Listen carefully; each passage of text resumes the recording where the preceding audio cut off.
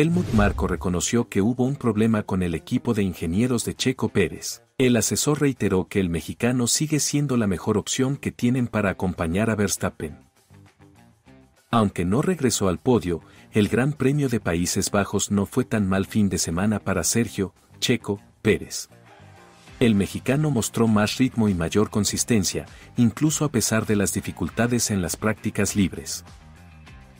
Al respecto, el asesor de Red Bull, Helmut Marko, reiteró que apostaron por mantener al mexicano en su asiento para la segunda parte de la temporada 2024 de la Fórmula 1. El principal problema de Checo ha sido la falta de consistencia.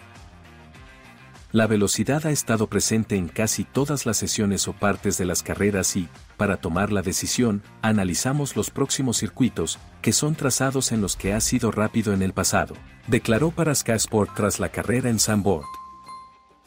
De igual forma, Marco señaló que, hubo un problema con su equipo de ingenieros que también podría haber afectado su rendimiento. Ante estas declaraciones, varios aficionados han apuntado a que se refiere a Byrne, quien el pasado fin de semana no estuvo en el garaje de Checo por licencia de paternidad y su lugar lo tomó Richard Wall. Sin embargo, el asesor de la escudería de Milton Keynes no dio más detalles, pero reiteró que tras un análisis más profundo decidieron que era mejor mantener a Pérez Mendoza como compañero de Max Verstappen.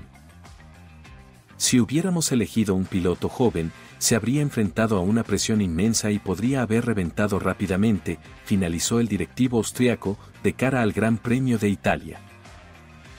La Fórmula 1 hectárea ha regresado a la actividad este fin de semana con el Gran Premio de los Países Bajos y para Sergio Pérez habrá un cambio en su garaje con una modificación de su ingeniero principal cambiando al menos, por esta carrera y dejando de lado a Hugh Byrne. Hugh ha sido el ingeniero de Checo Pérez desde que llegó a Red Bull Racing, Ambos han forjado una relación que, en ocasiones, ha generado polémica ante las estrategias en clasificación y carrera que, no siempre, han resultado como esperaban. Se sabe que Bird ha pedido un permiso por paternidad y estará presente en el circuito de Sandboard para guiar a Richard Wood, quien hasta ahora ha sido el ingeniero de rendimiento dentro de la escudería de Milton Keynes. Hugh Bird, el ingeniero de pista habitual de Sergio, Checo, Pérez, no estará presente durante el próximo fin de semana de carrera. En su lugar, será Good quien asuma la responsabilidad de guiar al piloto mexicano en el coche número 11. Esta sustitución temporal se ha programado debido a compromisos o situaciones imprevistas que han llevado a Bird a ausentarse, y se estima que no regresará a su puesto durante al menos cuatro carreras.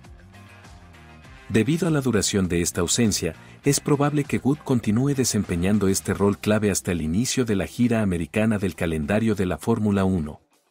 Este periodo de transición será crucial para Pérez, ya que la relación y comunicación entre piloto e ingeniero son esenciales para el rendimiento en pista.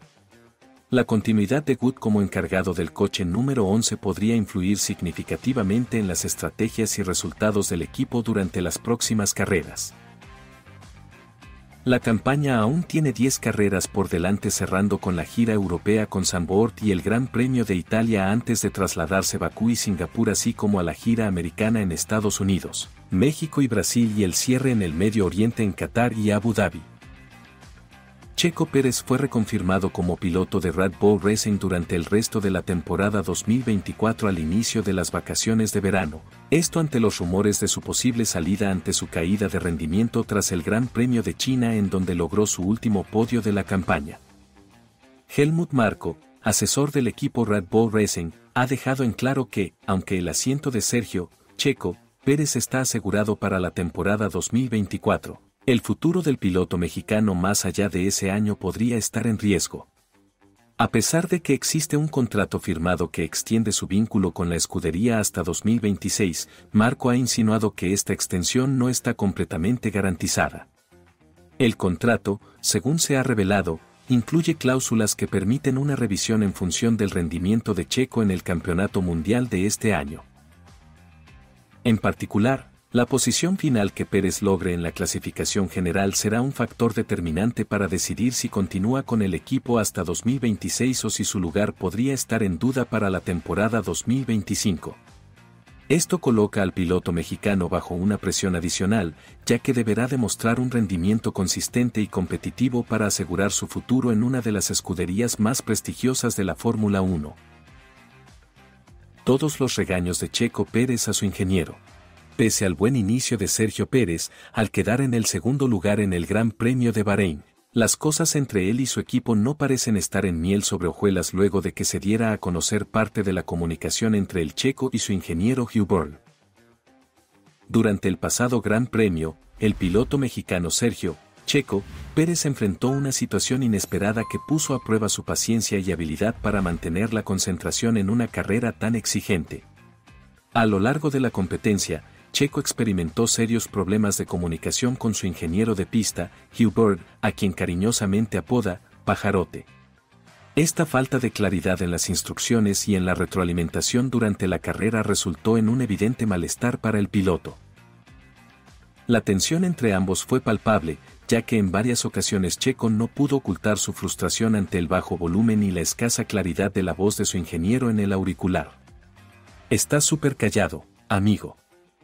Habla más fuerte, le reclamó en un tono que reflejaba su desesperación.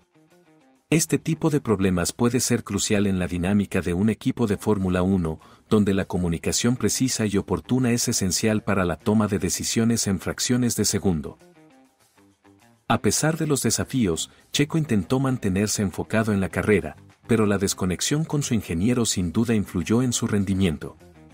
Este incidente resalta la importancia de una comunicación efectiva y cómo, en el intenso mundo de la Fórmula 1, hasta el más mínimo problema puede tener un impacto significativo en el resultado final. Esta es la discusión completa entre Checo Pérez y Hugh pero ¿cuál fue y con qué intensidad se dieron los diálogos entre ingeniero y piloto? Aquí te presentamos la comunicación completa entre Sergio Pérez y Hugh. HB, calcaste los tiempos de Sainz en los sectores 2 y 3 minutos SP, se te escucha muy bajo, habla más fuerte, HB, sí, entendido, SP, habla más fuerte, por favor habla más fuerte. HB, motor 11, posición 1, motor 11, posición 1, menos 4 minutos SP, se te oye súper bajo, habla más fuerte, HB, el switch está bien, el switch está bien, SP, grita, tienes que gritar. HB, OK, Radio Check. Gap con Science. SP, sí.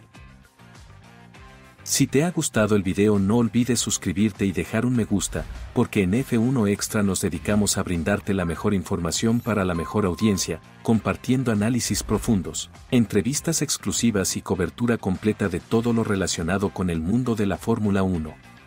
Únete a nuestra comunidad y sé parte de la emoción de las carreras con nosotros. Además, en F1 Extra nos esforzamos por ofrecerte contenido actualizado y de calidad sobre los equipos, los pilotos, las estrategias y los eventos más relevantes de la Fórmula 1.